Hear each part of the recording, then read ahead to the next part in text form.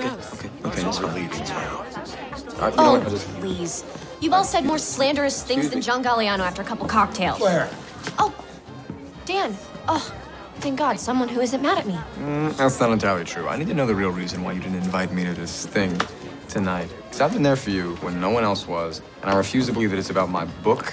I mean, I didn't write a bad word about you in the entire thing. Oh, you too?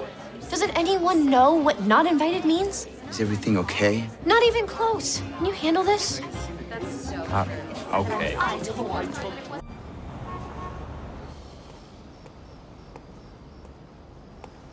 Really?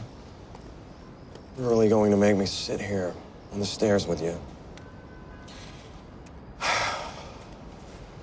Why don't you tell me why you antagonized Blair at her own wedding shower? I was just I was just trying to take some action, man, like you said, but it didn't work. Let's be clear. I told you to get some ass, not make one of yourself. It wasn't until I saw you confronting Blair that I realized I had it all wrong. Wait, I had what wrong? You're in love with her. Nah, I'm, I'm in I'm in love with Blair. No, no, no, no, no, no. I'm not. I'm not. I'm not in love with Blair.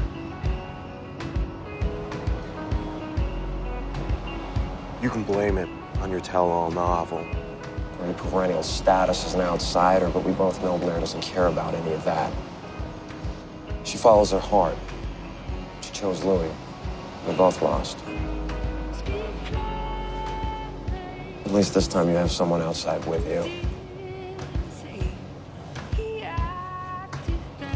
Now, please get you home before someone sees me sitting here like this?